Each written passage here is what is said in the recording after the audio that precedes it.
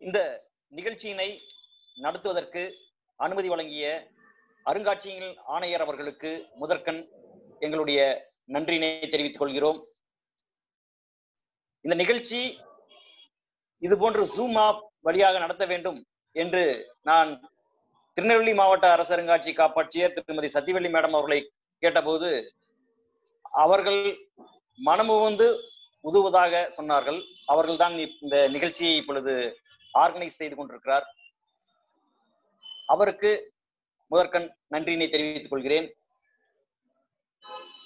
சேலம் மாவட்டத்தில் பறவைகள் என்ற தலைப்பிலே ஒரு நிகழ்ச்சியை நடத்த வேண்டும் என்று நான் நண்பர் நல்லாசிரியர் விருது பெற்ற தலைமை ஆசிரியர் திருமிகு கலைச்செல்வன் அவர் ஆசிரியர் அவர்களுடன் தொடர்பு கொண்டு விவாதிக்கும் போது அவர் கணேஸ்வர் அவர்களுடைய பெயரை பரிந்துரை செய்தார். திருமிகு கலைச்செல்வன் அவர்களுக்கும் ஆசிரியர் அவர்களுக்கும் நன்றியினை தெரிவித்துக் கொள்கிறேன். எங்களுடைய அழைப்பை ஏற்று சேலம் மாவட்டத்தினுடைய பறவையியல் கழகத்தினுடைய நிறுவனர் மற்றும் இயக்குனர் திருமிகு சுவே கணேஸ்வர் ஒரு இளைஞர் மிகச்சிறந்த இயற்கை ஆர்வலர் பறவையியல் ஆர்வலர். பல பேருக்கு முன்னோடியாக திகழ்ந்து கொண்டு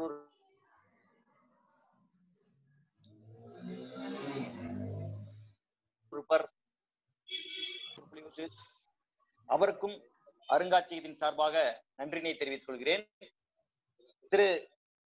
கலைச்செல்வன் ஆசிரியர் அவர்களை அறிமுக உரை ஆற்றுமாறு அன்புடன் கேட்டுக்கொள்கிறேன்.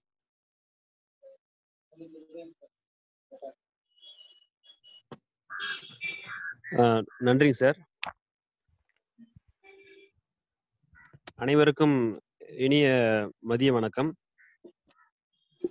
முதல்ல இந்த மாதிரி ஒரு சிறப்பான முன்னெடுப்பை எடுத்து சென்ற நமது சேலம் மாவட்ட அருங்காட்சியக காப்பாளர் திருவாளர் முல்லையரசு ஐயா அவர்களுக்கு எனது நன்றியினையும் வாழ்த்தினையும் தெரிவித்துக் கொண்டு இன்னைக்கு நம்ம பார்க்க போகிற இந்த வகுப்பினுடைய தலைப்பு வந்து பார்த்தீங்கன்னா சேலம் மாவட்ட பறவைகள். இதனை இந்த பயிற்சியினை நடத்தி செல்ல கருத்தாளராக வந்திருக்கக்கூடிய நண்பரும் அன்பு சகோதரரும் ஆகிய கணேஸ்வர் அவர்கள். சேலம் பறவைகள் கழகம் அப்படிங்கிற ஒரு அமைப்பு வந்து சேலத்துல வந்துட்டு துவங்கி நல்ல ஒரு வெற்றிகரமாக நடத்தி கொண்டு சென்று கொண்டிருப்பவர். இயற்கை ஆர்வலர் பறவைகள் ஆர்வலர்.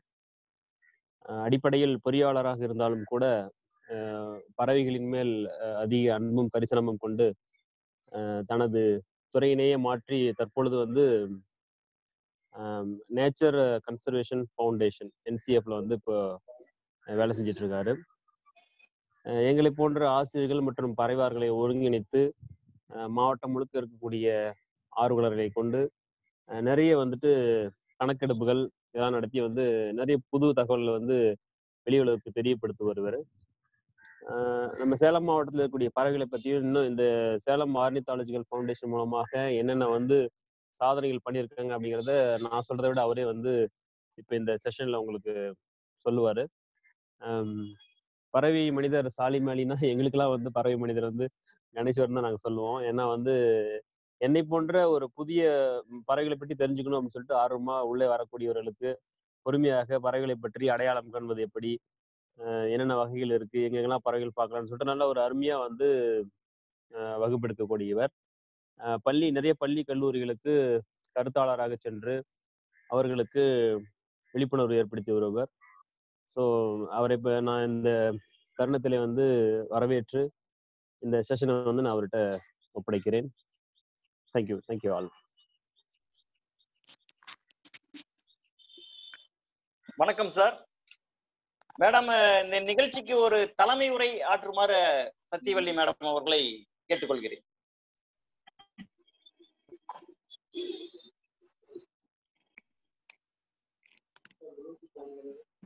நன்றி சார். நல்ல ஒரு வாய்ப்பை நல்கிய சேலம் மாவட்ட காப்பாட்சியர் முல்லையரசு சார் அவர்களுக்கு முதற்கண் என் நன்றி கலந்த வணக்கத்தை தெரிவித்துக் கொள்கிறேன். Birds of Salem district Salem மாவட்டத்தின் பறவைகள் பத்தி தெரியறதுக்காண்டி இன்னைக்கு ஒரு நல்ல நிகழ்வு ஒண்ணு ஆர்கனைஸ் பண்ணியிருக்கோம். சேலம் மியூசியத்துல இருந்து இந்த நிகழ்வு நடக்குது. நெல்லை மியூசியமும் கூடவே சப்போர்ட் பண்ணுது. அப்படிங்கிறப்போ இந்த மாவட்ட அருங்காட்சியகங்கள் எல்லாமே எதுக்காண்டு இயங்கிக்கிட்டு இருக்கு அப்படின்னு பாத்தீங்கன்னா அந்தந்த மாவட்டத்தோட முக்கியத்துவங்களை இன்றைய தலைமுறையினரிடம் கொண்டு போய் சேர்ப்பதுதான். ஸோ எங்களுக்கும் எங்களோட மியூசியம்லயுமே பாத்தீங்கன்னா இப்ப எல்லா டிஸ்ட்ரிக்ட் மியூசியமுமே பாத்தீங்கன்னா மல்டி பர்பஸ் மியூசியமா தான் இருக்குது. ஸோ ஒரு ஹிஸ்டரி மியூசியமாவோ ஒரு ஆர்கியாலஜி மியூசியமாவோ அப்படி தனித்தனியா இல்ல.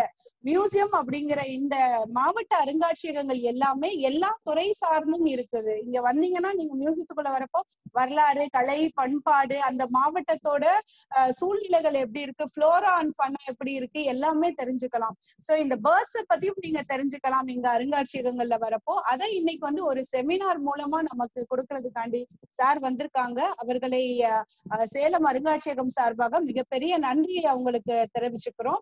ஏன்னா பேர்ட்ஸ் ஆஃப் சேலம் டிஸ்ட்ரிக்ட் அப்படிங்கிறது மிகப்பெரிய தலைப்பு. அதை ரொம்ப சின்னதா கண்டென்ட் பண்ணி நமக்குள்ள கொடுக்கறப்போ ஆஹ் இந்த பிபிடி பார்த்த ரொம்ப அட்ராக்டிவா இருக்கும்னு நினைக்கிறேன். எனக்கு ரொம்ப ஆர்வமா இருக்கு சார் இந்த தலைப்புல உங்களது லெக்சரை கேட்கறதுக்கு. Thank you so much sir students எல்லாமே நிறைய பேர் ரொம்ப ஆர்வமா வந்துட்டு இருக்காங்க. இந்த நிகழ்வு தெரிஞ்சுக்கணும் அப்படின்னுட்டு சரியா நிறைய நண்பர்கள் இருக்காங்க முல்லையரசு சார். சோ இந்த நிகழ்வு இந்த ஒரு நல்ல நிகழ்வு ஏற்பாடுக்கு கொடுத்த முல்லையரசு சார் அவர்களுக்கு மிகப்பெரிய நன்றியினை தெரிவித்துக் கொள்கிறேன். சார் உங்க லெக்சரை காக்க கேட்கறதுக்காண்டி ரொம்ப ஆர்வமாவே இருக்கிறேன் சார். வணக்கம். வணக்கம் சார். நன்றி மேடம் நன்றி. திருமிகு சுவே கணேஸ்வர் அவர்களை சிறப்பு சொற்பொழிவாற்றுமாறு அன்புடன் கேட்டுக்கொள்கிறேன். யா um, uh, மிக்க நன்றி சார் uh, தலைமை உரையாற்றிய சத்யவல்லி அம்மா அவர்களுக்கும் திருமிகு முல்லையரசு சார் அவர்களுக்கும் uh, மற்றும் அன்பு அண்ணா திரு கலைச்செல்வன் அவர்களுக்கும் என்னுடைய பணிவான நன்றி. இதில் இதுல வந்து இன்னைக்கு நம் பார்க்கவிருக்கும் தலைப்பு சேலம் மாவட்ட பறவைகள். சேலம் மாவட்டத்துல என்னென்ன பறவைகள் இருக்கு? அவற்றினுடைய முக்கியத்துவம் என்ன? இன்று சேலம் மாவட்டத்தில் இருக்கக்கூடிய பறவைகளின் நிலை என்ன?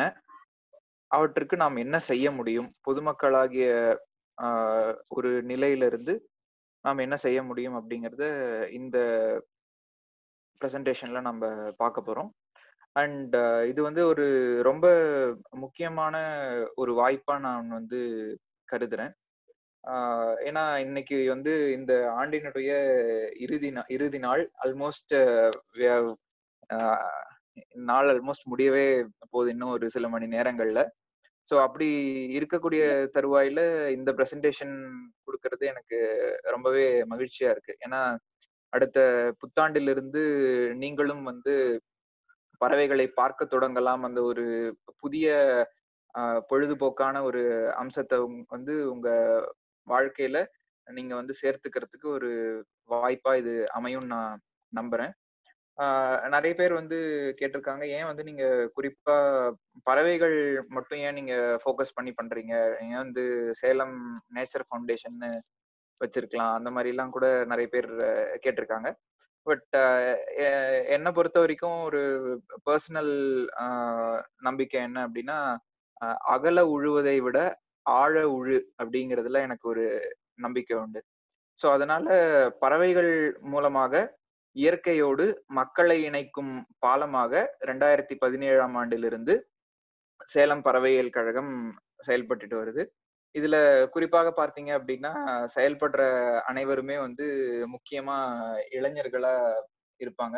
அதுலயும் குறிப்பா இன்னைக்கு வந்து என்னோட டீம்ல இருந்தே நிறைய பேர் ஜாயின் பண்ணிருக்காங்க அப்படிங்கிறது ரொம்ப மகிழ்ச்சியா இருக்கு. ஸோ இந்த ப்ரெசன்டேஷன் போறதுக்கு முன்னாடி எஸ்ஓஎஃப் பத்தி ஒரு சின்ன இன்ட்ரோடக்ஷன் ஸோ ரெண்டாயிரத்தி பதினேழாம் ஆண்டு துவங்கப்பட்ட அமைப்பு இது. ஸோ நேரடியாக மத்திய அரசாங்கத்தின் அப்ரூவல்ல நம்ம ஃபவுண்டேஷன் இயங்கிட்டு இருக்கு. ஸோ செக்ஷன் எயிட் அப்படின்னு நம்ம சொல்லுவோம். சின்ஸ் டூ தௌசண்ட் செவன்டீன் ஒரு நூத்தி அறுபதுக்கும் மேற்பட்ட அவுட்ரீச் அண்ட் எஜுகேஷன் ப்ரோக்ராம்ஸை வந்து நம்ம கண்டக்ட் பண்ணியிருக்கோம். அவேர்னஸ் ப்ரோக்ராம்ஸ் வந்து through out schools teachers college students forest department staff almost across எல்லாருக்குமே லைப்ரரியன்ஸ் உட்பட நிறைய uh, சீனியர் பீப்புள் எல்லாருக்குமே வந்து இதை பப்ளிக்கா வந்து கொண்டு போயிட்டு இருக்கோம். அப்படி கொண்டு போனதுல தற்போது வரை ஒரு பதினோராயிரத்திற்கும் மேற்பட்ட பள்ளி குழந்தைகள் மாணவர்கள் ஆசிரியர்கள் எல்லார்கிட்டயுமே இந்த பறவைகள் பற்றி சேலம் பறவைகள் கழகத்துல இருக்கக்கூடியவர்கள் எடுத்துட்டு போயிட்டு இருக்கோம் ஸோ இதுல செய்து வரக்கூடிய முக்கியமான ப்ரோக்ராம்ஸ் எல்லாம் என்ன அப்படின்னு பாத்தீங்கன்னா குறிப்பாக நீர்நிலைகளை பாதுகாக்க வேண்டும் அப்படிங்கிறதுல சேலம் பறவைகள் கழகம் ரொம்ப முனைப்புடன் செயல்பட்டுட்டு வருது. மேலும் காடுகளில் இருக்கக்கூடிய பறவைகள் வயல்வெளிகள் புல்வெளிகள்ல இருக்கக்கூடிய பறவைகள் முதல் கொண்டு எல்லாத்தையுமே நம்ம வந்து தொடர்ந்து வருடம் முழுக்க கண்காணித்து வரோம் ஸோ அப்படி வந்து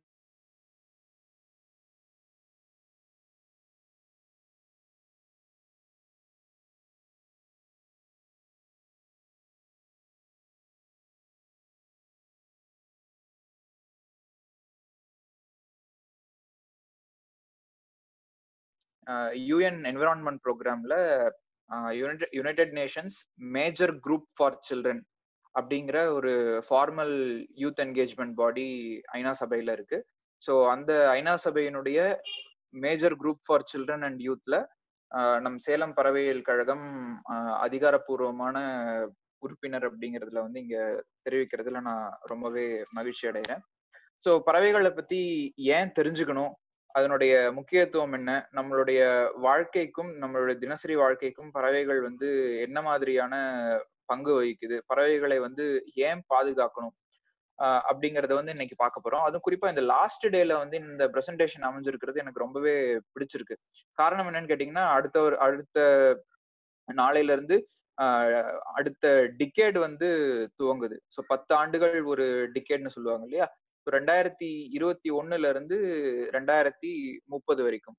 ஸோ இந்த பத்து ஆண்டுகளை வந்து ஐநா சபை என்னவா அறிவிச்சிருக்காங்க அப்படின்னா United Nations decade for ecosystem restoration அதாவது இயற்கை வாழிடங்களை காப்பாற்றுவதற்கும் மறுசீரமைப்பு செய்வதற்குமான இந்த பத்து ஆண்டுகளை வந்து ஐக்கிய நாடுகள் சபை அறிவிச்சிருக்காங்க. ஸோ அந்த லைன்ஸ்ல தான் வந்து சேலம் பறவையியல் கழகமும் அடுத்த பத்து ஆண்டுகளுக்கு பயணிக்கும் அப்படிங்கிறத நான் இங்க தெரிவிச்சுக்க விரும்புறேன்.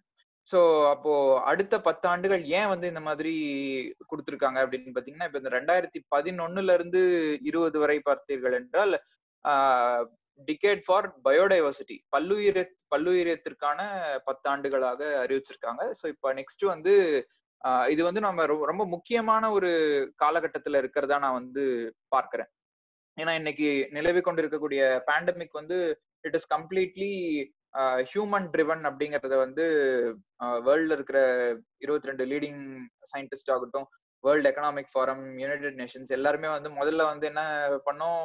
ஆஸ் யூஷுவல் ஹியூமன் டெண்டன்சி என்ன அப்படின்னா அடுத்த ஒரு உயிர் மேல பழி போடுறது. முதல்ல வந்து இதற்கு இந்த பேண்டமிக்கு வவ்வால்கள் தான் காரணம் அப்படின்னும்.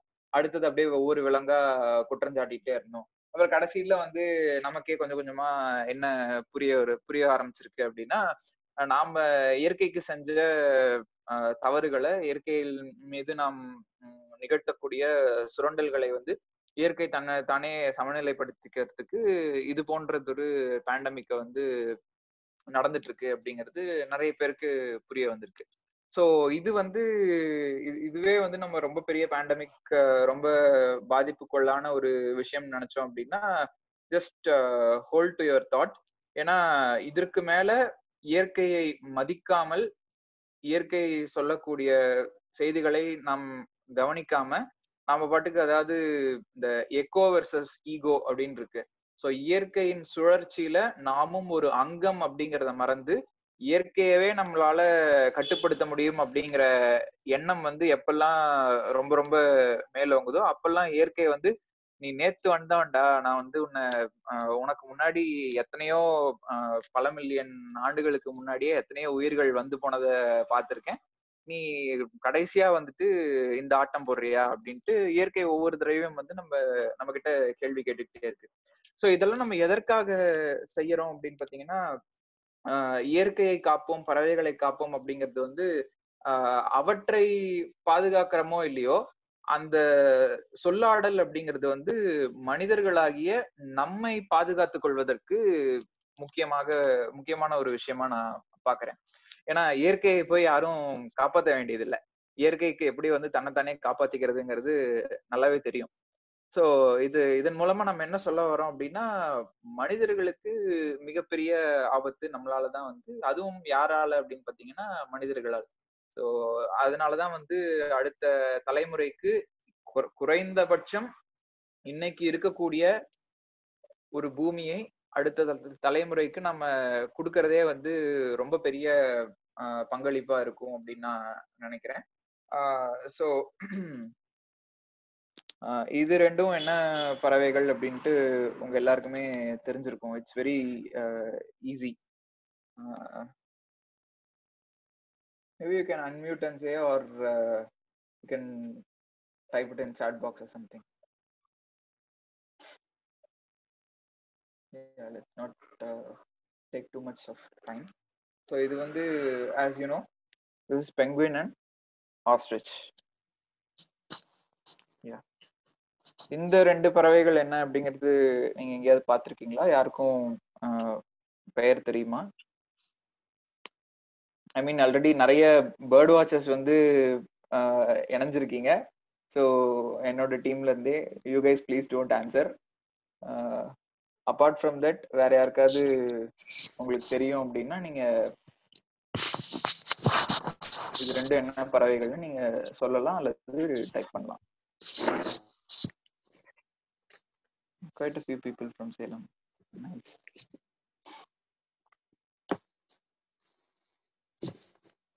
I guess எல்லா எல்லா ஆல்மோஸ்ட் எல்லாருமே பேர்ட் வாட்சஸா இருக்கீங்கன்னு நான் நினைக்கிறேன்.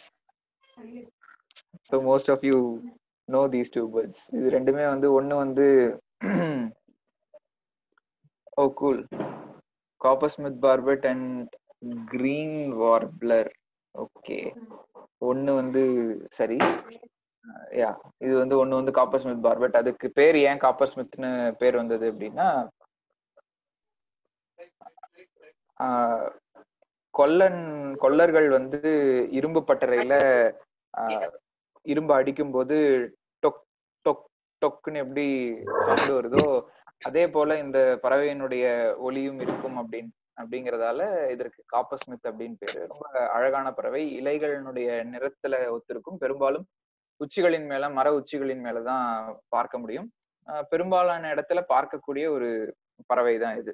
அதிகம் அதிகமாக அத்திப்பழங்களை விரும்பி உண்ணும் விதைப்பறவலுக்கு முக்கியமான காரணமா இருக்கு இந்த குக்குருவான் போன்ற பறவைகள். அடுத்தது கீழே இருக்கக்கூடிய பறவை பார்த்தீங்கன்னா அது பூஞ்சிட்டு செவ்வழகு பூஞ்சிட்டு அல்லது மலர்கொத்தி அப்படிம்பாங்க. இந்தியாவின் மிகச்சிறிய பறவை இதுதான். ஸோ உங்க வீட்டு பக்கத்துலயும் மியூசியம்ஸ்ல நம்ம போற இடத்துக்கு எல்லாத்துக்குமே இந்த பறவை வந்துட்டு போகும். ஸோ சுமார் ஒரு எட்டு சென்டிமீட்டர் அளவு தான் இருக்கும் அப்படிங்கிறதுனால நமக்கு அவ்வளோ ஈஸியா நம்ம நோட் பண்ணாம இருந்திருப்போம். ஸோ அழகு பார்த்தீங்கன்னா நல்ல ஷார்ப்பா கூரா பிங்க் கலர்ல இருக்கும். ஸோ இது வந்து ரொம்பவே சுறுசுறுப்பாக சுறுசுறுப்பா இருக்க இயங்கக்கூடிய ஒரு பறவை. நீங்க எல்லா இடத்துலயுமே இதை வந்து பார்க்கலாம். ஸோ இதை வந்து ஜென்ரலா வந்து ஆஹ் இந்த பறவைகள் என்ன அப்படின்ட்டு பறவை ஆர்வலர்கள் அல்லாதவர்கள் கிட்ட கேட்டோம் அப்படின்னு பாத்தீங்கன்னா அது ஒன்னா மரங்குத்தி அப்படிம்பாங்க. இல்லைன்னா இது வந்து சிட்டுக்குருவி அப்படிம்பாங்க. இது எதுக்காக சொல்றேன் அப்படின்னா இந்த பறவைகளுடைய பெயர்கள் வந்து இன்னைக்கு ஏன் தெரிஞ்சுக்கணும்? அல்லது பெயர் தெரிஞ்சுக்கிறது அப்படிங்கிறது அவ்வளவு அவசியமா அப்படின்னா ஆஹ் நம்மை சுற்றி என்ன இருக்கு அப்படின்னு நமக்கு தெரியல அப்படின்னா நிச்சயமாக அதனுடைய முக்கியத்துவம் நமக்கு தெரியாது. இன்னைக்கு ஏன் வந்து இன்னைக்கு கவர்மெண்ட்ல வந்து மியூசியம் போட்டு பழங்கால பொருட்கள் சின்னங்கள் இதையெல்லாம் பாதுகாக்கணும் அப்படின்னு அதற்காக உரிய நபர்களை போட்டு இன்னைக்கு பாதுகாத்துட்டு வர்றோமோ? ஏன் அப்படின்னா அதனுடைய முக்கியத்துவம் நமக்கு தெரியும். எவ்வளவு சிறப்பு வாய்ந்தது அப்படிங்கிறது நமக்கு தெரியும். அதை போலவே இது நம்மை சுற்றி என்னென்ன பறவைகள் இருக்கு என்ன மரங்கள் இருக்கு என்ன வண்ணத்து பூச்சிகள் இருக்கு என்ன மாதிரியான மருத்துவ தாவரங்கள் இருக்கு இதெல்லாம் நமக்கு தெரியாம இருந்தது அப்படின்னா ஆப்வியஸ்லி அது ஏன் இருக்கு அப்படிங்கறதே நமக்கு தெரியாது. அப்படி தெரியலன்னா அது நம்ம அதை பாதுகாக்கணும் அப்படிங்கிற எண்ணமும் நமக்கு வராது. எந்த விஷயம் நமக்கு மகிழ்ச்சியை தருகிறதோ அதைத்தான் நம்ம வந்து அதிகமா விரும்புவோம். எதை நாம் அதிகம் விரும்புகிறோமோ அதை நாம் புரிந்து கொள்ள முயற்சிப்போம். எதை நாம் புரிந்து கொள்ள முயற்சிப்போமோ அது நீண்ட காலம் நம்முடனே இருக்கணும் அப்படின்னு நினைப்போம். சோ இதுதான் வந்து படிப்படியா so the first step for conservation இயற்கை பாதுகாப்பு அப்படிங்கறதுல வந்து முதல் படி விழிப்புணர்வு. நம்மை சுற்றி என்ன இருக்கு அப்படிங்கறத தெரிஞ்சுக்கிறதுல தான் இருக்கு. சோ ஏன் செய்யணும்? ப- பறவை நோக்குதல்ல ஏன் ஈடுபடணும் அப்படின்னு கேட்டீங்கன்னா ஆஹ் ஒன்று மகிழ்ச்சி. இன்னைக்கு மகிழ்ச்சி அப்படிங்கறதே வந்து பல இடங்கள்ல எல்லாரும் தேடிட்டு இருக்கக்கூடிய ஒரு விஷயமா இருக்கு. அஹ் இன்னைக்கு இருக்கக்கூடிய மாடர்ன் வேர்ல்ட் அப்படின்னு சொல்ற இந்த உலகத்துல வந்து நிக்க நேரம் இல்ல அப்படின்னு எல்லாருமே ஓடிட்டே இருக்கும். ஆனா எதை நினைச்சு ஓடுறோம் அப்படின்ட்டு யோசிச்சு பாத்தீங்க அப்படின்னா ஒரு விடையே இருக்காது. நல்ல அப்பப்போ சமூக வலைதளங்கள்ல சில கார்ட்டூன்ஸ் எல்லாம் வரும். அந்த கேலி சித்திரங்கள்லாம் வரும். இந்த இருபது வயசா இருக்கும்போது அவங்ககிட்ட ஸ்ட்ரென்த் எல்லாமே இருக்கும். பணம் இருக்காது சில விஷயங்களை செய்யறதுக்கு. அடுத்தது வந்து அப்படியே ஒவ்வொரு படியா வாழ்க்கையில வந்து எப்படி போயிட்டு இருக்கான் கடைசியில திரும்பி பார்த்தா ஒண்ணுமே இருக்காது. நினைவுகளோ ஒரு எதுவுமே இருக்காது.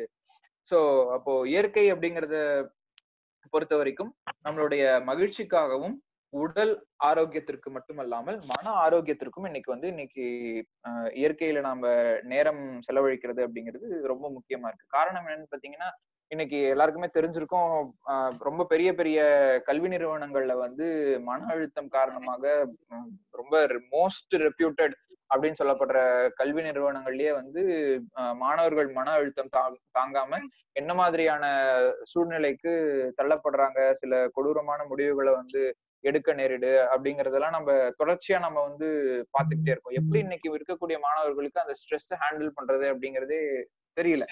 சோ இந்த மாதிரியான ஒரு சூழ்நிலையில இயற்கையோடு அந்த பிணைப்பை நாம் ஏற்படுத்திட்டோம் அப்படின்னு சொன்னா அவர்களுக்கு இந்த மன அழுத்தம் எல்லாம் குறைஞ்சு மன ஆரோக்கியம் மேம்பட்டு அவர்கள் செய்யக்கூடிய செயல்பாடுகள்லயும் சரி வாழ்க்கையிலயும் சரி ஒரு நல்ல மன அமைதி கிடைச்சு அவர்களுடைய பணியை வந்து சிறப்பா செய்வாங்க அப்படிங்கிறதுல எந்த ஒரு ஐயமும் இல்லை.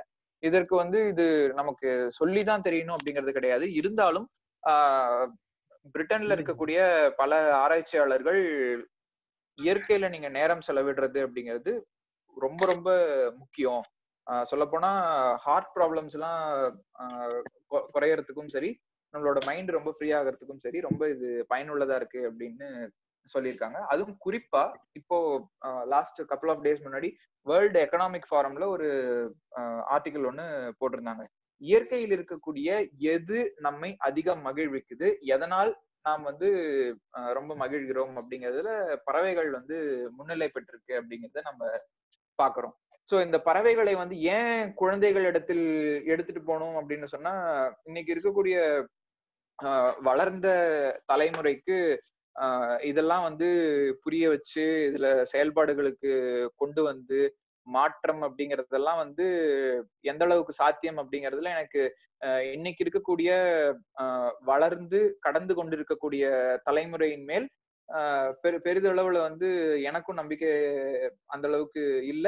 அதே போல இன்னைக்கு வர்ற இன்னைக்கு வளர்ந்து வந்துட்டு இருக்கக்கூடிய தலைமுறைக்கும் சென்ற தலைமுறையின் மேல நம்பிக்கை இல்லை. அந்த காரணத்தின் காரணத்தினாலதான் இன்னைக்கு வந்து இளைஞர்கள் எல்லா இடத்துலயுமே வந்து இயற்கை தான் நமக்கு வந்து முக்கியம். என்னதான் வந்து நம்ம தொடர்ந்து பணத்து பின்னாடியே போயிட்டு இருந்தாலும் நாளைக்கு நான் உயிரோட இருப்பதற்கு என்னுடைய அடிப்படை அத்தியாவசிய தேவைகள் என்ன அப்படிங்கறத இன்னைக்கு இருக்கக்கூடிய இளம் தலைமுறை புரிஞ்சுட்டு வராங்க அப்படிங்கறத நான் ரொம்பவே நம்புறேன். அதனாலதான் உலகம் முழுக்க ஸ்கூல் ஸ்கூல் டேஸ்ல இருந்தே நிறைய மாணவர்கள் வந்து கிளைமேட் சேஞ்சுக்கு எதிராகவும் குளோபல் வார்மிங் பயோடைவர்சிட்டி டிஸ்ட்ரக்ஷன் இது போன்ற விஷயங்களுக்கு எதிராக தொடர்ந்து குரல் கொடுத்துட்டு வர்றதை நம்ம பாக்குறோம் இது எல்லாத்துக்கும் மேல இயற்கையோட ஒரு பிணைப்பு இருந்தது அப்படின்னு சொன்னா முதல்ல நம்ம ஒரு நல்ல மனிதனா இருப்போம்.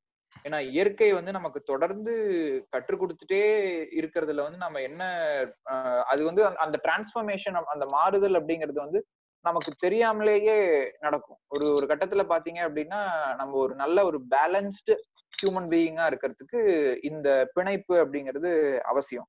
இது வந்து இன்னைக்கு இன்னைக்கு ஏதோ நம்ம வந்து புதுசா பேர்ட் வாட்சிங் அப்படிங்கிற பேர்ல எல்லாம் இதை வந்து நம்ம இன்ட்ரடியூஸ் பண்ணிட்டு இருக்கோம். ஆனா பல காலங்களுக்கு முன்னாடியே பறவைகளோடு ஒன்றோடு ஒன்றுதான் வாழ்ந்த சமூகம் நம்மளுடைய தமிழ் சமூகம். பழங்காலத்துல சங்க இலக்கியங்கள்ல வந்து பறவைகள் எந்த அளவுக்கு முக்கியத்துவம் பெற்று இருக்கு அப்படிங்கறத நம்ம பார்க்க முடியும். இந்த பறவை வந்தா இந்த காலம் ஆஹ் உதாரணத்திற்கு ஆஹ் கபிலர் எழுதிய குறுந்தொகை பாடல்ல யாருமில்லை தானே கல்வன் அந்த பாடல்ல வந்து குறுகுவன் தலைவனும் தலைவியும் கூடியிருந்த நாள்ல அதற்கு சாட்சியாக ஒரு குறுகு தான் இருந்தது அப்படின்ட்டு சொல்லியிருப்பாங்க. இன்றைக்கும் ஆஹ் கோரை புட்களும் நாணல்களும் இருக்கக்கூடிய இடங்கள்ல நீங்க வந்து மஞ்சள் குருகு அல்லது எல்லோ பிட்டன் அப்படிங்கிற பறவையை வந்து பார்க்க முடியும். அதே போல சத்தியமுத்த புலவர் தன்னோட வீட்டுல இருந்து தொலைதூரம் இருக்கும்போது செங்கால் நாரைக்கு நாரை விடு தூது எல்லாருமே கேள்விப்பட்டிருப்போம். சோ நாராய் நாராய் செங்கால் நாராய் பழம்படு பனையின் கிழங்கு பிழந்த பவளக்கூறுவாய் செங்கால் நாராய் சோ அந்த புலவருக்கு என்ன தெரிஞ்சிருக்கு அப்படின்னு பாத்தீங்கன்னா இந்த பறவை அதுல ரொம்ப அருமையான ஒரு புலவர் எழுதியிருப்பாரு. நீ- தென் திசை குமரியாடி வடதிசைக்கு ஏ ஏகுவீராயின்.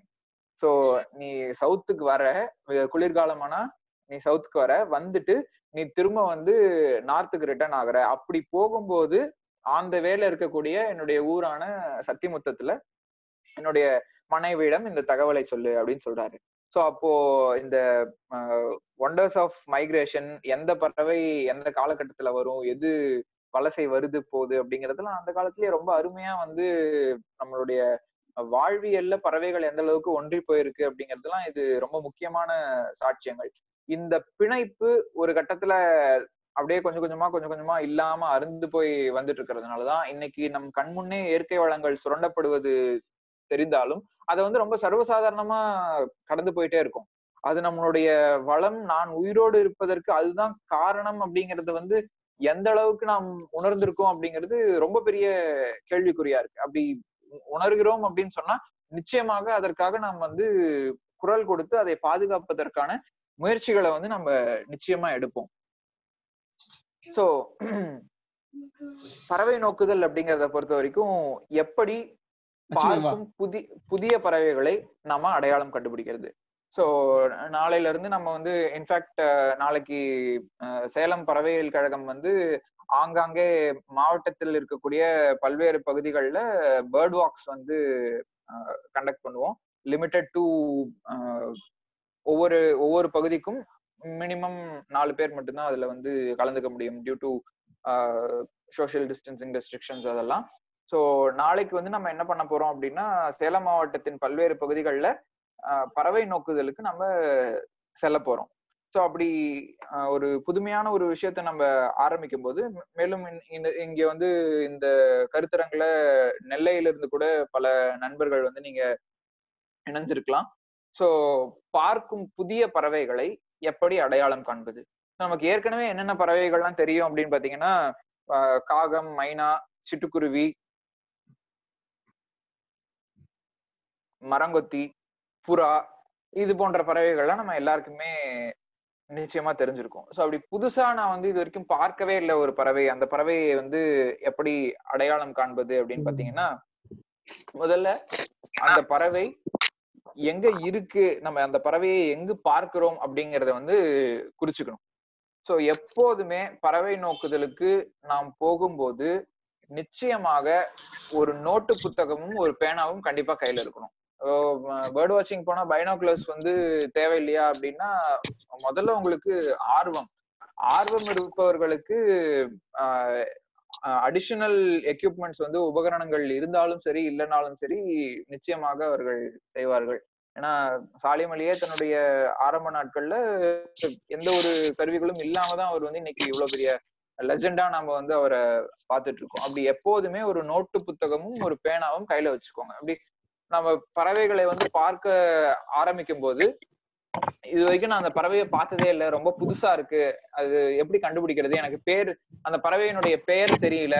என்கிட்ட வந்து பைனாகுலரும் இல்ல கேமராவும் இல்ல. எப்படி கண்டுபிடிக்கிறது? அப்படின்னா நிச்சயமாக நீங்க வந்து மிக எளிமையா இந்த ஸ்டெப்ஸ் எல்லாம் நீங்க ஃபாலோ பண்ணீங்க அப்படின்னா ரொம்ப ஈஸியா கண்டுபிடிச்சிடலாம். ஒண்ணு பறவையை இங்கு பார்க்கிறோம். அந்த பறவையினுடைய வாழிடம். அந்த பறவை வந்து நீர்நிலையின் கரையோரத்துல இருந்தது. இல்ல தண்ணியில நீந்திட்டு இருந்தது. மின் கம்பி மேல உக்காந்துட்டு இருந்தது. இல்ல ஆஹ், நம்ம வீட்டு மாடி மேல இருக்கக்கூடிய டேங்க் மேல உக்காந்துட்டு இருந்தது அப்படின்னு பல்வேறு ஆஹ், விஷயங்களை வந்து நம்ம குறிச்சுக்கலாம். அதுதான் வந்து அந்த பறவையினுடைய வாழிடம் அல்லது ஹேபிட்டட் அந்த பறவையை எங்க பாக்குறோம் சோ அடுத்ததா வந்து அந்த பறவை எந்த கூட்டத்துல சேரும்? உதாரணத்திற்கு ரொம்ப சிறியதா ஒரு மாதிரி ப்ரௌன் கலர்ல இருந்ததுன்னா அந்த பறவை ஒருவேளை சிட்டுக்குருவியா இருக்கலாம். ஒருவேளை அந்த பறவை தண்ணியில நீந்திட்டு இருந்தது அப்படின்னு சொன்னா அது ஒரு நீர் பறவையாக இருக்கலாம். ஒரு மரத்துல இருந்தது அப்படின்னு சொன்னா அது ஒரு மரம் வாழ் பறவையாக இருக்கலாம்.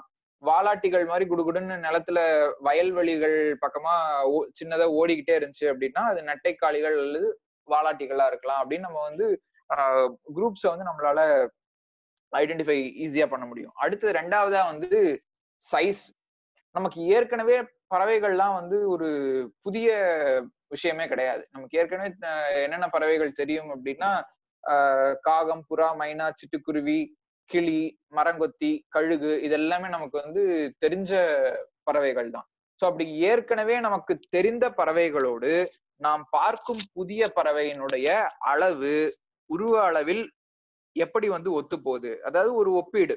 இந்த பறவை ஒரு காகத்தை விட கொஞ்சம் சிறியதா இருந்தது. அது வந்து ஒரு மைனா அளவு இருக்கும் அப்படிங்கிற ஒரு குறிப்பு. அது வந்து ரொம்ப முக்கியம்.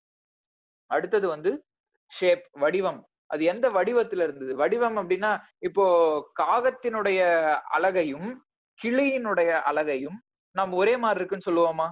நிச்சயமா கிடையாது. காகத்தினுடைய அழகு நீளமா கூரா இருக்கும் கிளியினுடைய அழகு நல வளைந்து இருக்கும்.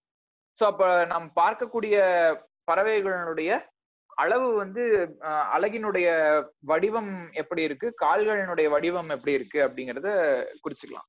ஸோ அடுத்ததாக நிறம்.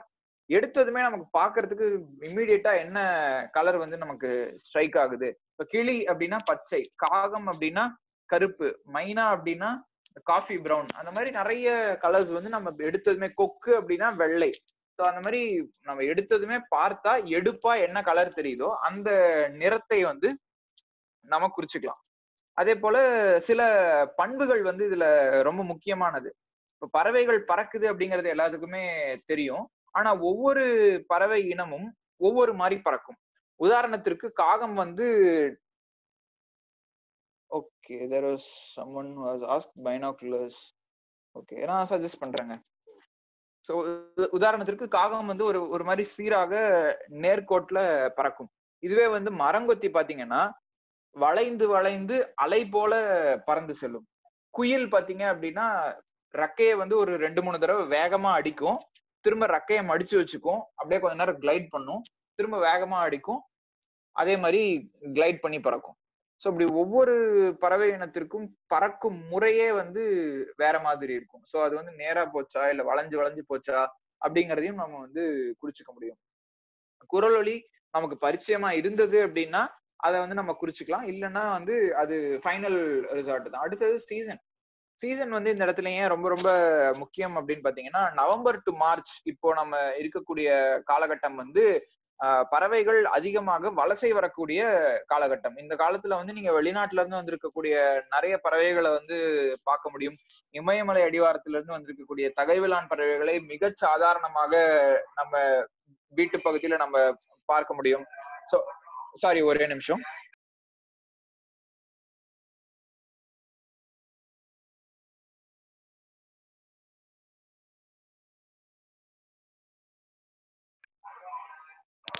Sorry that was disturbance outside so நம்ம பார்க்கக்கூடிய பத்து பொது பறவைகள் என்னென்ன இருக்கு அப்படின்னு பாத்தீங்கன்னா ஆஹ், சில பேருக்கு இது ரொம்ப ஆச்சரியமா இருக்கலாம். இதுல வந்து எங்க அண்டங்காக்கையே காணோம் அப்படின்லாம் நிறைய பேர் தேடலாம். எப்படி வந்து இது இதை வந்து நீங்க எப்படி top ten common birds of இந்தியான்னு சொல்றீங்க அப்படிங்கிற கேள்வியும் நிறைய பேருக்கு எழலாம். அதற்கு வந்து நான் பின்னாடி விடையளிக்கிறேன். இதுல இருக்கக்கூடிய பறவைகள் என்னென்னு பாத்தீங்கன்னா நிறைய பேர் இதை நிச்சயமா எல்லாருமே இதை பெரும்பாலும் பார்த்திருப்போம். ஆனா நமக்கு வந்து பெயர் வந்து தெரியாம இருக்கலாம். ஒண்ணு வந்து காகம் வந்து பார்க்க பார்ப்பதற்கு கழுகு மாதிரி இருக்கும். ஆனா நம்ம நகர்ப்புறங்கள்ல பார்க்கும் அனைத்துமே வந்து பருந்துகள் தானே தவிர கழுகுகள் கிடையாது. கழுகுகள் எல்லாமே வந்து ஆஹ் காட்டுப்பகுதிகளை ஒட்டியும் ரொம்ப பெரிய வயல் நிலங்களை ஒட்டியும் தான் வந்து கழுகுகளை பார்க்க முடியுமே தவிர நம் நகர்ப்புறங்களில் பார்க்கும் அனைத்துமே கரும்பருந்துகள் தான். சோ அதனுடைய கரும்பருந்தினுடைய வால் வந்து பிளவுபட்ட வாளை வந்து கொண்டிருக்கும். ஸோ அப்படியே ஒவ்வொன்றா will go through yeah so கரும்பருந்தினுடைய முக்கியமான குறிப்பு என்ன அப்படின்னு பார்த்தீங்கன்னா அதனோட வால் வந்து வி மாதிரி இருக்கும் பிளவுபட்ட வால். ஸோ இது வந்து கரும்பருந்துக்கே உரித்தான ஒரு ஐடென்டிஃபிகேஷன் பாயிண்டர் நம்ம சேலம் மாநகரத்திலயும் சரி நம்ம எங்க எந்த சிட்டிக்கு போனாலும் சரி மேல வந்து கழுகு போன்ற ஒரு பெரிய பறவை பறந்துட்டு இருந்தது அப்படின்னா அது பெரும்பாலும் கரும்பருந்தாக இருப்பதற்கு தான் வாய்ப்பு அதிகம். ஸோ அடுத்தது மைனா. எல்லாருக்குமே இது வந்து பூச்சிகளை வந்து கட்டுப்படுத்துறதுல ரொம்ப மிக மிக முக்கியமான பங்கு வகிக்குது மைனாக்கள். புறா மா இது வந்து மாடப்புறா. ஐயா குயில். ஸோ என்னுடைய பறவை கால் பறவை நோக்குதலின் ஆரம்ப நாட்கள்ல வந்து இது வேற பறவை இனம் இது வேற பறவை இனம் அப்படின்னு நான் நினைச்சிட்டு இருந்தேன். பின்னால தான் தெரிஞ்சது பறவைகள்லயும் வந்து பாலின ஈருருவத் தோற்றம் இருக்கு. அதாவது செக்ஷுவல் டைமார்பிசம் சோ ஆண் பறவை வேறு நிறத்திலும் பெண் பறவை வேறு நிறத்திலும் இருப்பதற்கு பெயர் தான் பாலின ஈருருவத் தோற்றம். சோ ஆண் பறவை வந்து முழுவதும் கருப்பு நிறத்துல இருக்கும்.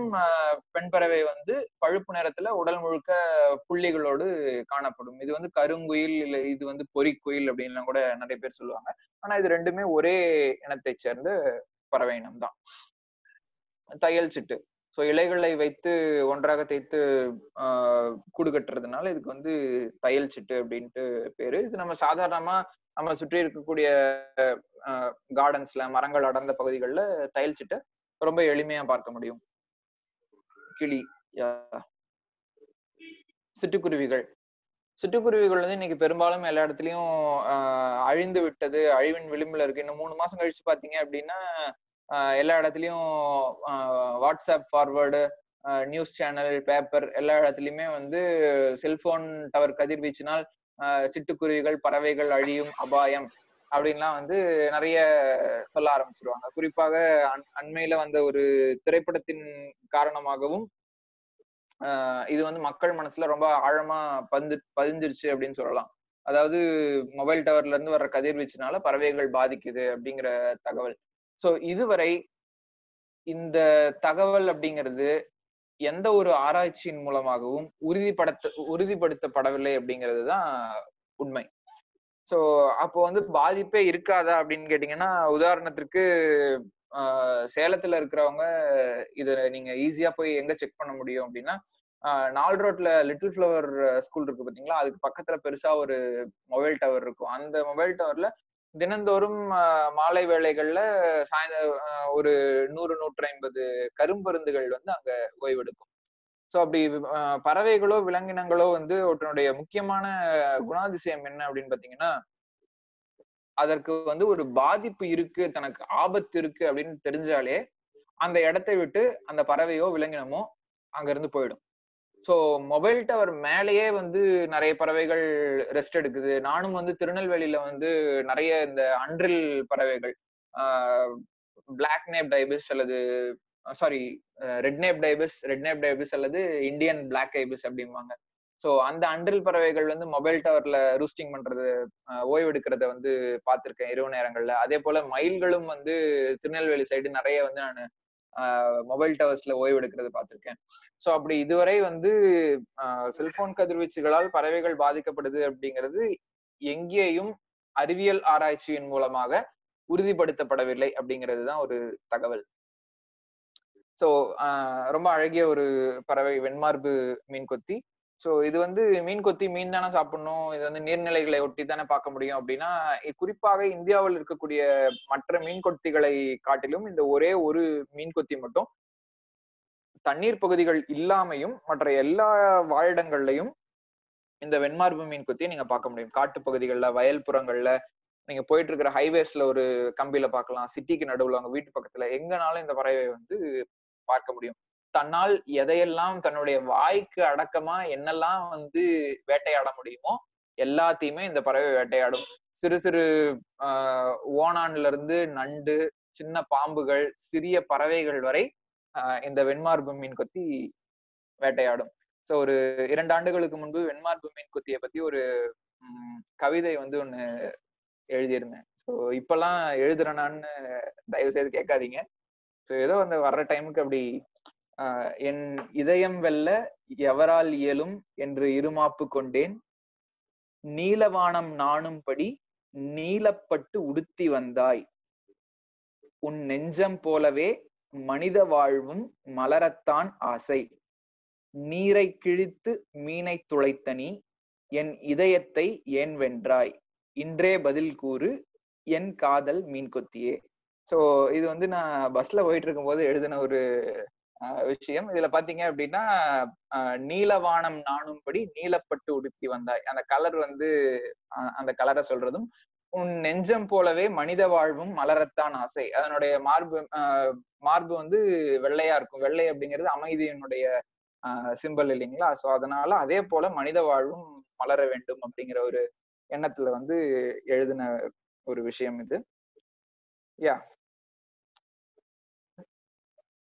சோ இந்த இவ்வளவு பறவைகள் பொது பறவைகள் இவை எல்லாமே இருக்கு. இவையெல்லாம் நமக்கு என்ன மாதிரியான நன்மைகள் செய்யுது அப்படின்னா let's go quickly we less time யா பறவைகள் பூச்சிகள் சாப்பிடுதுங்கிறது அனைவருக்குமே ஆஹ் தெரிஞ்ச ஒரு விஷயம்தான். பட் அதனுடைய அளவு என்ன அப்படின்னு தெரிஞ்சாதான் அதனுடைய மகத்துவத்தை உண்மையிலேயே நாம் பாராட்ட முடியும். உதாரணத்திற்கு இந்த uh, சின்னஞ்சிறு பறவை பச்சை கதிர்குருவி கிரீனிஷ் வார்பிளர் வலசை வர்ற வெளிநாட்டுல இருந்து வலசை வர்ற ஒரு பறவை இது. நம்ம கேஎம்டிஆர்ல களக்காடு முண்டந்துறை புலிகள் காப்பகத்துல தான் மதுசூதன் கட்டி அப்படிங்கிற ஆராய்ச்சியாளர் இந்த பச்சை கதிர்குருவிகளை வந்து பத்தி ஒரு ஆராய்ச்சி பண்ணிட்டு இருந்தாரு. ஸோ அப்ப அவர் கண்டுபிடிச்ச விஷயம் என்னன்னா ஒரு ஹெக்டேர் பரப்பளவுல மொத்தம் ஆறு கதிர்குருவிகள் இருக்கு. அந்த ஆறு கதிர்குருவிகளையும் தொடர்ந்து இவர் வந்து ஃபாலோ பண்ணிட்டே இருக்காரு. அதுல வந்து ஒரே ஒரு பறவை ஒரு நிமிடத்திற்கு மூன்று பூச்சிகள் வரை சாப்பிடுது அப்படின்னு அவர் வந்து கணக்கு போடுறாரு. அப்ப தோராயமாக ஒரு மணி நேரத்திற்கு நூத்தி ஐம்பது பூச்சிகள் வரையும் ஒரு நாளைக்கு கிட்டத்தட்ட ரெண்டாயிரம் பூச்சிகள் வரை ஒரே ஒரு பறவை சாப்பிடும். இந்த சின்ன பறவை. அவ்வளவு ஒரு பத்து சென்டிமீட்டரோ என்னமோ தான் இருக்கும் இந்த பறவை. அது இந்த ஒரே ஒரு பறவை வெளிநாட்டுல இருந்து இங்க வந்துட்டு ஒரு நாளைக்கு ரெண்டாயிரம் பூச்சிகள் வரை சாப்பிடுது. வெளிநாட்டுல இருந்து இங்க வர்ற பறவைகள் இனப்பெருக்கம் செய்யுமா அப்படின்னு கேட்டீங்கன்னா இனப்பெருக்கம் செய்யாது. இது வரைக்கும் அதற்கான ஆதாரமும் இல்லை. நீங்க வந்து ஆஹ், நிறைய வந்து நியூஸ்ல எல்லா இடத்துலயும் நீங்க கேட்டிருக்கிறதுக்கான வாய்ப்புகள் ரொம்பவே அதிகம். ஆஹ், வெளிநாட்டு பறவைகள் வந்து ஆஹ், சரணாலயங்களில் கூடு கட்டின வேடந்தாங்கல் கூந்தங்குளம் கோடியக்கரை இங்கெல்லாம் வந்து கூடு கட்டுச்சு அப்படின்னு நீங்க நிறைய தகவல்களை வந்து கேள்விப்பட்டிருக்க முடியும். ஆனா உண்மையில் இங்கு இனப்பெருக்கம் செய்வது எல்லாமே நம்முடைய இந்திய பறவைகள் தானே தவிர வெளிநாடுகளிலிருந்து வரும் எந்த பறவை இனமும் இங்கு இனப்பெருக்கம் செய்ததற்கான ஆதாரம் நம்மிடம் இல்லை. சோ சங்குவளை நாரைகளாகட்டும் நத்தை குத்தி நாரை அது எந்த பறவையா வேணா இருக்கட்டும் அது இங்க இனப்பெருக்கம் செஞ்சா அது இந்திய பறவை அவ்வளவுதான். சோ ஏன் வெளிநாட்டு பறவைகள் இங்க இனப்பெருக்கம் செய்யாது அப்படின்னா அதனுடைய தாயகம் வேறு. அங்க அவை அங்கிருந்து இங்க வருவது வந்து தட்பவெட்ப சூழ்நிலைக்காகவும் உணவுக்காகவும் தான் வருதே தவிர இங்கு இனப்பெருக்கம் செய்வதற்காக அவை வந்து வருவதில்லை. யூ- உதாரணத்திற்கு ஐரோப்பிய நாடுகள்ல இருந்து வாத்துகள் வந்து இங்க வலசை வரும். மத்திய ஆசிய பகுதிகள்ல இருந்து கீச்சான்கள் வந்து கீச்சான்கள் கதிர்குருவிகள் இவை எல்லாமே வலசை வரும். இவை எதுவுமே வந்து இங்க இனப்பெருக்கம் செய்யாது. அவ- வரும் ஆறு மாசம் இங்க இருக்கும். நல்லா சாப்பிடும் திரும்ப போகும். அங்க திரும்ப அங்கதான் போய் இனப்பெருக்கம் செய்யும். காரணம் என்ன அப்படின்னு பாத்தீங்கன்னா ஆஹ் குளிர்காலங்கள்ல அங்க ஆர்டிக் பகுதிகள்ல அனைத்துமே வந்து ஐஸால எல்லாமே கவர் ஆயிடும். சோ அப்போ எங்க வந்து டெம்பரேச்சர் கரெக்டா இருக்கோ அங்க திரும்ப இங்க கீழே வரும். ஐஸ் உருகும் போது திரும்ப அங்க வந்து வசந்த காலம் துவங்கும். வசந்த காலம் துவங்கும் போது இந்த பறவைகள் இங்கிருந்து அங்க போய் திரும்பவும் அங்கதான் வந்து இனப்பெருக்கம் செய்யும். யா சோ அடுத்ததாக ஆந்தைகள். ஆந்தை கத்துனா வீட்டுக்கு ஆகாது. கோட்டாங் கத்துனா அவசகுணம் அப்படின்னு கேள்விப்பட்ட நமக்கு ஆந்தைகள் வந்து எந்த அளவுக்கு ஒரு முக்கியத்துவம் வாய்ந்தது அப்படின்னா காடுகளில் புலிகள் என்ன பணியை செய்யுதோ அதைத்தான் ஆந்தைகளும் நம்ம சுற்றுப்பகுதிகளில் செஞ்சுட்டே வருது. உதாரணத்திற்கு ஒரு ஒரு ஜோடி எலிய அதுக்கு தேவையான உணவு எல்லாம் கொடுத்துட்டு ஒரு ரூம்ல போட்டு அடைச்சு வச்சுட்டோம் அப்படின்னா ஒரு வருஷம் கழிச்சு திறந்தா அதுல இருந்து சுமாரா எட்நூத்தி ஐம்பது எட்நூறுக்கும் மேற்பட்ட எலிகள் வந்து வெளியில ஓடி வரும். ஸோ அவ்வளோ எலிகளினுடைய இனப்பெருக்க ரீப்ரொடக்டிவிட்டி ரேட் வந்து ரொம்பவே அதிகம். இந்த ஆந்தைகள் என்ன பண்ணுது? குறிப்பாக கூகை அல்லது வெண்ணாந்தை விவசாய நிலங்கள்ல வந்து நான் வந்து இது திருநெல்வேலி வந்து it is a very best example என்னோட ப்ரெசன்டேஷன்ஸ்ல நிறைய இடத்துல நான் வந்து மென்ஷன் பண்ணியிருக்கேன். அங்க விவசாய நிலங்கள்ல பாத்தீங்கன்னா ஆந்தைகள் வந்து உட்கார்றதுக்கே வந்து ஒரு நிலங்கள் விவசாய நிலங்களுக்கு மத்தியில ஒரு பெரிய கட்டையோ குச்சியோ வச்சுட்டு அது நடுவுல வந்து உக்காடுறதுக்கு ஒரு அமைப்பை வந்து ஏற்படுத்தியிருப்பாங்க. காரணம் என்னன்னா விவசாயிகளுக்கு ஆந்தைகள் எவ்வளவு முக்கியத்துவம் வாய்ந்தது அப்படிங்கிறது தெரியும். ஸோ அப்படி வந்து உட்காந்து பார்த்துட்டு எலிகள் வந்து எங்க நிலங்கள்ல சுத்திட்டு இருக்கோ அவற்றை வந்து வேட்டையாடும். ஒரு இரவுக்கு தோராயமாக மூன்று முதல் ஐந்து எலிகளை வந்து ஒரு ஆந்தை வேட்டையாடும். வருடத்திற்கு ஆயிரம் எலிகள் அப்படின்னா ஆந்தையினுடைய ஆயுட்காலம் சு- சுமாராக ஒரு பத்து பன்னெண்டு ஒரு பத்து வருஷம் இருக்கும். ஸோ அந்த குறிப்பிட்ட காலகட்டத்துல ஒரே ஒரு ஆந்தை மட்டும் பன்னா பன்னெண்டாயிரம் எலிகள் வரை சாப்பிட்டு நம்மளுடைய விவசாயத்தை இரவு நேரத்துல பாதுகாக்குது. கதிர்குருவிகள் கரிச்சான்கள் பனங்காடைகள் உன்னிக்கோக்குகள் இவை எல்லாமே காலை வேளைகள்ல நம்மளுடைய நிலங்களை வந்து பாதுகாக்குது. அப்போ நம்ம உண்ணக்கூடிய உணவு அப்படிங்கிறது ஒரு விவசாயி ஒரு நல்ல மகசூல் எடுக்கணும் அப்படின்னு சொன்னா பறவைகள் போன்ற மற்ற பல்வேறு உயிரினங்களுடைய இலவசமான சேவையும் புரிய வருது. சோ இந்த ஆந்தைகளை பத்தியும் வந்து ஒரு சின்ன வரிகள் வந்து எழுதியிருந்தேன். ஆஹ் இனி பொய்யுரைக்க மாட்டேன் ஆந்தையே நீ கூவினால் அனர்த்தம் என்று. உன் சேவையை நிறுத்திவிடாதே நண்பா எம் பயிரெல்லாம் பாழாய் போகும். ஸோ ஏன்னா நம்ம அப்படிதானே தொடர்ந்து சொல்லிக்கிட்டே இருக்கோம். ஆஹ் ஆந்த கத்துனா வீட்டுக்கு ஆகாது அப்படின்னு. ஆனா உண்மையிலேயே அதனுடைய சேவை வந்து ரொம்ப ரொம்பவே மகத்துவமானது. அதை நாம் புரிஞ்சுக்கிட்டு ஸோ ஆந்தைகள் வந்து எந்த அளவுக்கு சூழலிலுக்கும் நம்மளுடைய பயிர்களுக்கும் நம்மளுடைய வாழ்க்கைக்கும் நேரடியாக ஒவ்வொரு நாளும் தொடர்பு இருக்கு அப்படிங்கிறத இதுல இருந்து நம்மளால புரிஞ்சுக்க முடியும். ஸோ அதே போல பாருக்கழுகுகள் பெரும்பாலும் பிணந்தின்னி கழுகுகள் அப்படிங்கிற ஒரு தவறால த- தவறான சொல்லாடல் வந்து நிலுவையில இருக்கு.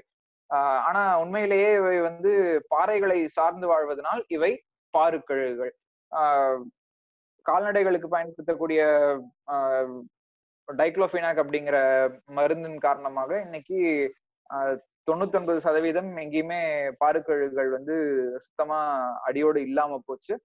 சோ அவை வந்து இல்லாம போனா ஒட்டுமொத்தமா பாருக்கழுகுகள் வந்து அழிஞ்சு போச்சு அப்படின்னு சொன்னா புது புது நோய்கள் உருவெடுக்கும். இதுவரை நாம் பார்த்திராத பல நோய்கள் நம்ம ஊருக்குள்ள.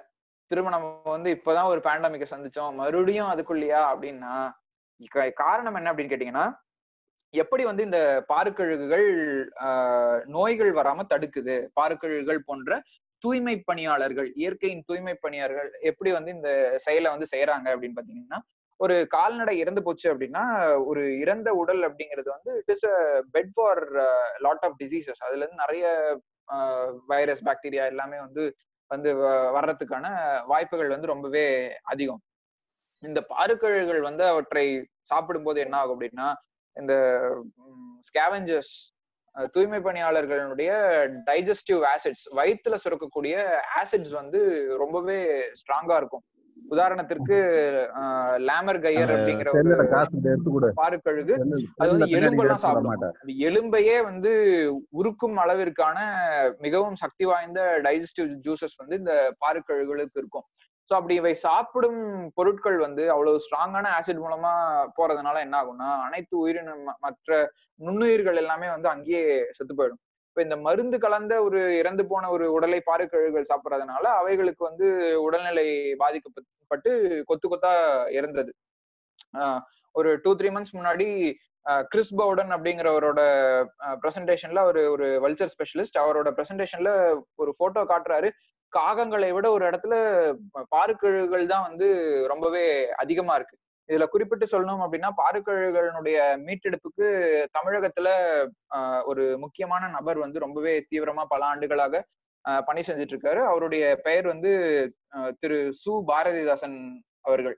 ஸோ அவர் வந்து அருளகம் அப்படிங்கிற அமைப்புல இருந்து ரொம்ப தீவிரமாக இந்த பாறைக்கிழகுகளை எப்படியேனும் பாதுகாக்கணும் அப்படிங்கிறதுல வந்து முயற்சி எடுத்துட்டு இருக்காரு ஸோ எப்படி வந்து பறவை நோக்குதல் பறவைகளை வந்து பாதுகாக்கும் அப்படின்னா நம்ம முன்கூட்டியா சொன்னோம். நம்ம தொடர்ந்து வந்து பறவைகளை பார்த்து என்ன மாதிரியான தகவல்களை வந்து அஹ் கண்டுபிடிச்சிருக்கோம். ஏன் வந்து பறவைகளை வந்து பாதுகாக்கணும் அப்படின்னு சொன்னா இது ஒரு முக்கியமான மேப் இது.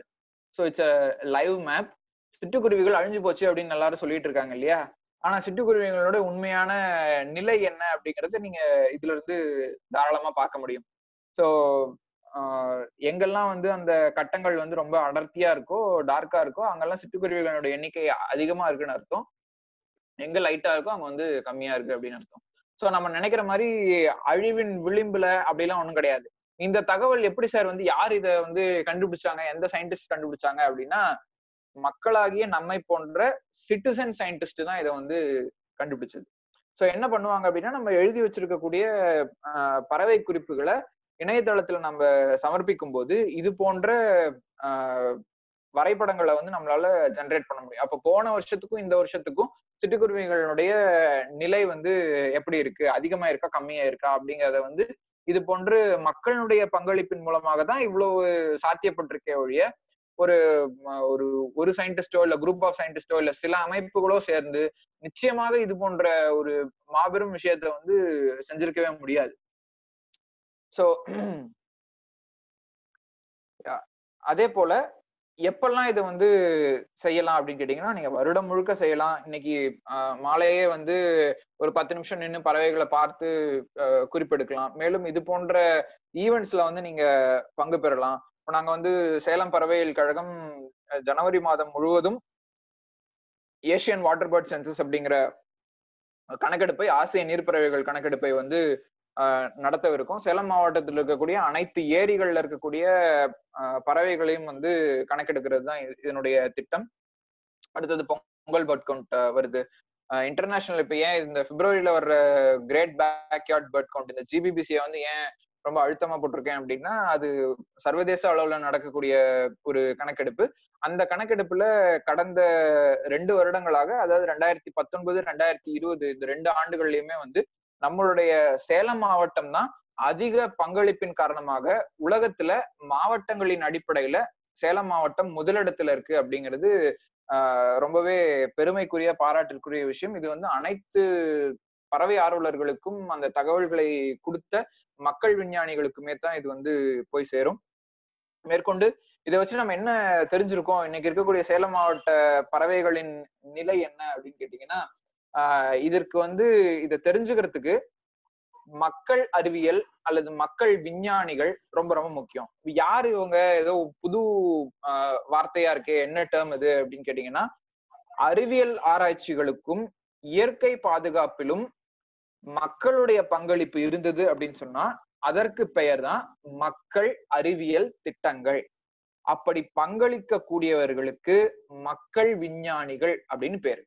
சோ உலகம் முழுக்க பல்வேறு விதமான மக்கள் அறிவியல் திட்டங்கள் இருக்கு. இத மக்கள் அறிவியல் திட்டங்களை வந்து ஆஹ் அங்கீகரிக்கும் விதமாக சாரி ஆஸ்திரேலியன் கவர்மெண்ட் வந்து நான்கு தபால் தலைகளையும் வந்து வெளியிட்டிருக்காங்க அப்படிங்கிறது வந்து குறிப்பிடத்தக்கது. இதுல இருந்து நமக்கு என்ன தெரிய வந்திருக்கு?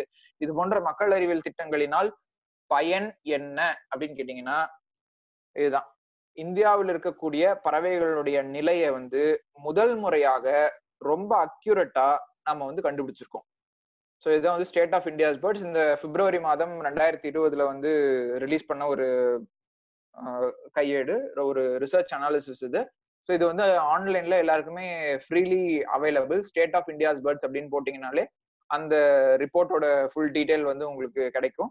ஸோ அதுல இருந்து ஒரு குறிப்பிட்ட ஒரு விஷயம் என்ன அப்படின்னு பாத்தீங்கன்னா முன்னாடி என்ன நினைச்சிட்டு இருந்தோம் அப்படின்னா சேலம் மாவட்டத்தில் இருக்கக்கூடிய பறவைகள் எல்லாம் ஓகே நல்லா இருக்கு அப்படின்னு நினைச்சிட்டு இருந்தோம். ஆனா இந்த அனாலிசிஸ் வந்ததுக்கு அப்புறமா தான் நமக்கே வந்து நம்மளுடைய பறவைகள் கழகத்திற்கும் மற்ற பறவை ஆர்வலர்களுக்கும் ரொம்ப பெரிய ஷாக்கிங்கா இருந்தது என்ன அப்படின்னு சொன்னா நிறைய பொது பறவைகள் ரொம்ப அடியோடு குறைஞ்சிட்டே வருது அப்படிங்கிறது இதுல இருந்து நமக்கு தெரிய வருது. காட்டன் டீல் அப்படிங்கிறது அள்ளிச்சிறகி கொண்டை உழவாரன் பொன்னிற உப்பு கொத்தி பச்சைக்காளி இது ஒரு வகையான ஆலா செங்குருகு பழுப்புத்தலை பாம்பு கழுகு மஞ்சள் தலை மரங்கொத்தி காட்டு கீச்சான் மின்சிட்டு குயில் கீச்சான் காட்டு வாலாட்டி செந்தலை வல்லூர் வெண்பிடரி பட்டாணி குருவி மஞ்சள் தொண்டை சின்னான் இந்த மாதிரியான நிறைய பறவைகள் இதுல இருக்கக்கூடிய நிறைய பறவைகள் வந்து பொது பறவைகள். உதாரணத்திற்கு இந்த ஷார்ட் டோர் ஸ்னேக்கிகள் இந்த common wood shrike small minivet எல்லாம் சாதாரணமா வந்து ஒரு நம்ம ஒரு புதற்காட்டு பகுதிக்கு போனா இந்த ஸ்மால் மினிவெட்டு நீங்க சர்வசாதாரணமா பார்க்கலாம்.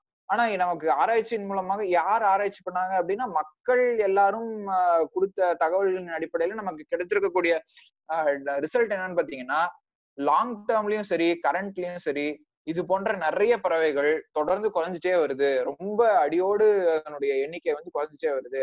அப்போ நம்ம இத்தனை நாள என்ன நினைச்சிட்டு இருந்தோம்?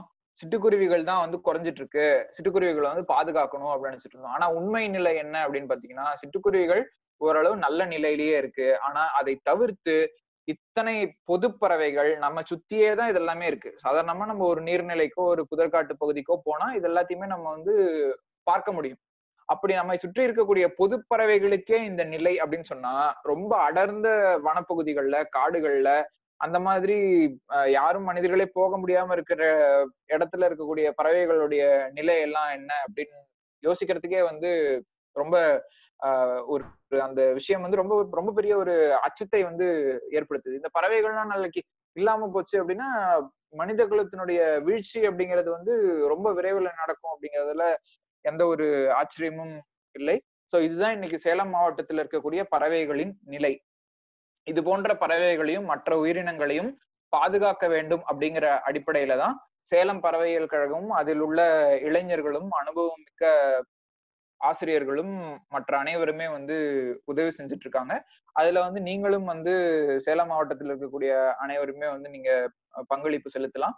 ஆஹ் நாளை வந்து நாளையில இருந்து ஒரு புதிய டிக்கேட் வந்து துவங்குது. இந்த டிக்கேட்ல இருந்து இயற்கைக்கு என்னால் இயன்ற ஏதேனும் ஒரு பங்களிப்பை குறைந்தபட்சம் மாதம் ஒரு முறையாவது நான் தருவேன் அப்படிங்கிற ஒரு உறுதிமொழிய நம்ம எல்லாரும் இந்த சமயத்துல எடுத்துக்கிறோம் அப்படிங்கிறது வந்து ரொம்ப ஒரு நல்ல விஷயமா இருக்கும். நாளை வந்து நீங்க எல்லாருமே இதை வந்து நீங்க எடுத்துக்கலாம். மாதம் ஒரு முறை இயற்கை சார்ந்த ஏதேனும் ஒரு நடவடிக்கையில் என்னுடைய பங்களிப்பு இருக்கும் அப்படிங்கறத வந்து நம்ம அனைவருமே பின்பற்றுவதற்கு எளிமையாவும் இருக்கும் அப்படின்னு நான் நினைக்கிறேன்.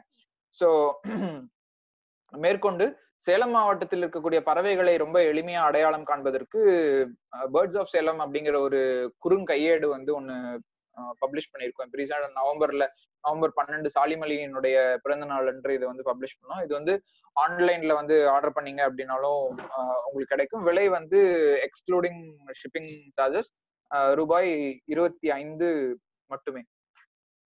ஸோ என் உரையை நிறைவு செய்வதற்கு முன் முன்பாக நம்மளுடைய அடுத்த தலைமுறையின் மன ஆரோக்கியமும் உடல் ஆரோக்கியமும் இயற்கை எந்த அளவுக்கு செழிப்பா இருக்கோ அதுலதான் அடங்கி இருக்கு அப்படின்றத நாம உணர்ந்து நாளை துவங்க இருக்கக்கூடிய புத்தாண்டிலிருந்து நம் வாழ்க்கையின் இறுதி வரை இயற்கையே சர்வ வல்லமை படைத்த சக்தி அப்படிங்கிறத மனசுல பதிய வச்சு அந்த இயற்கையை பாதுகாப்பதும் அடுத்த தலைமுறைக்கு அதை பாதுகாப்பான முறையில் அடுத்த தலைமுறையிடம் ஒப்படைப்பதுமே வந்து நம்மளுடைய முக்கிய தார்மீக கடமைகள்ல ஒண்ணு அப்படிங்கிறத நான் இங்க பதிவு செய்ய விரும்புறேன். ஏன் அப்படின்னா சுவாசிக்கும் அனைவருக்குமே இயற்கையை பாதுகாக்கக்கூடிய பொறுப்பும் உரிமையும் கடையும் கடமையும் இருக்கு அப்படிங்கிறத நம்ம உணர வேண்டிய தருணம் இது. சோ இத்துடன் என்னுடைய உரையை நிறைவு செய்கிறேன். இணைந்த அனைவருக்கும் என்னுடைய பணிவான நன்றியும் இனிய புத்தாண்டு நல்வாழ்த்துக்களும்.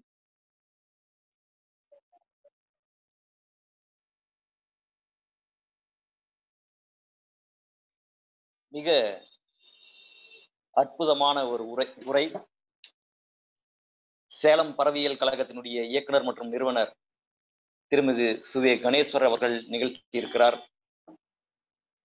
பறவைகளை பற்றிய அறிவு புதையல்கள் அறிவு தகவல்கள் நிறைய அற்புதமான தகவல்களை அவர் அவருடைய உரையில் குறிப்பிட்டிருக்கிறார்.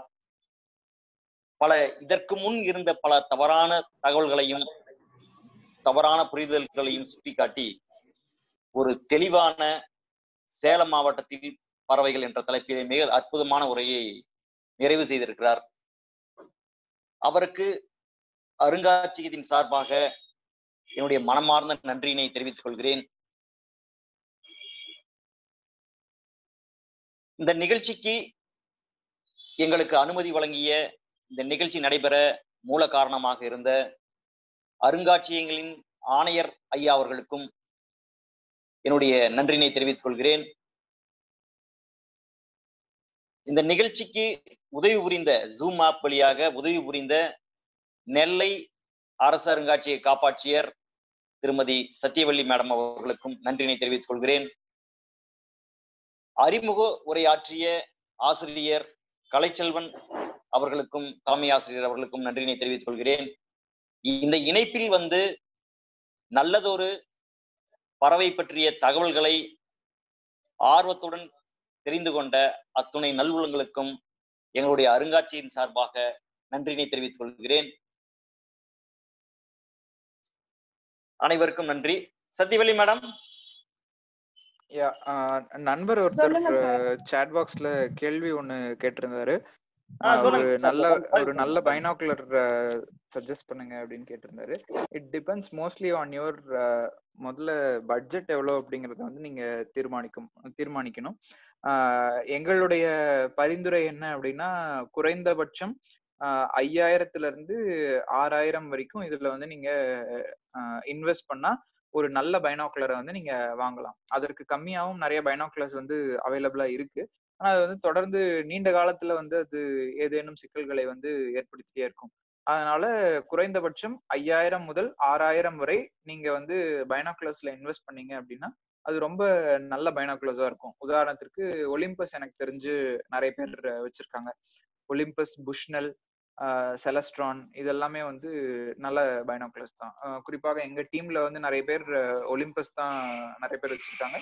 It's a good one. ஐயாயிரம் அப்படிங்கிற இதுல வந்து ஒலிம்பஸ் நல்லா இருக்கும் you can try that and specification பார்த்தீங்கன்னா எயிட் எக்ஸ் ஃபார்ட்டி டூ அல்லது ten x fifty. Eight into forty two அல்லது டென் இன்டூ ஃபிஃப்டி. அது வந்து it is eight x and ten x so இந்த ரேஞ்சில் வந்து நீங்கள் பயன்படுத்திக்கலாம். And before we end the session மீண்டும் ஒரு முறை அஹ், சேலம் அரசு uh, அருங்காட்சியகத்திற்கும் குறிப்பாக uh, முல்லை அரசு சார் அவர்களுக்கும் நெல்லை அருங்காட்சியகத்திற்கும் சத்யவல்லி மேடம் அவர்களுக்கும் அறிமுக உரை அளித்த திருமிகு கலைச்செல்வன் அவர்களுக்கும் இணைந்த அனைவருக்கும் மீண்டும் என்னுடைய பணிவான நெஞ்சார்ந்த நன்றிகள். நன்றி சார் வணக்கம் நன்றி. மேடம் ஏதாவது பேச விரும்புறீங்களா? நானூத்தி எண்பத்தி ஏழு பேர். அவங்கள்ல ஒரு ஐம்பத்தி நாலு பேர் திருப்பி லண்டன். Sir Mullaiyarasu sir. வணக்கம் சார். கணேஸ்வர் சார் ரொம்ப அருமையான பிரசன்டேஷன் சார். ரொம்ப இன்ட்ரெஸ்டிங்கா இருந்தது. ஒரு ஃபார்ட்டி மினிட்ஸ் மேல போனதே தெரியல சார் உண்மையா சொல்லணும்னா அதான் வந்து ஏன்னா இங்க சென்னையிலயும் நெல்லையிலயும் நாங்க அடிக்கடி இந்த மாதிரி நிகழ்வுகள் நடத்திக்கிட்டு இருக்கோம். ரொம்ப நல்லா இருந்தது sir thank you thank you so much Mullaiyarasu sir உங்களுக்கு பெரிய தேங்க்ஸ் அதாவது இதை ஆர்கனைஸ் பண்றதுன்னு ஒரு பொறுப்பை கொடுத்தாலும் இந்த செமினார் இவ்வளவு இன்ட்ரெஸ்டிங்கான செமினார்லயும் எனக்கு ஒரு பார்ட் கொடுத்ததுக்கு தேங்க்யூ சோ மச் சார் நல்லா. கண்டிப்பாங்க நல்லா மேடம் மிக்க நன்றிங்க மேடம் மிக்க நன்றிங்க மேடம் அனைவருக்கும் நன்றி. அனைவருக்கும் நன்றி.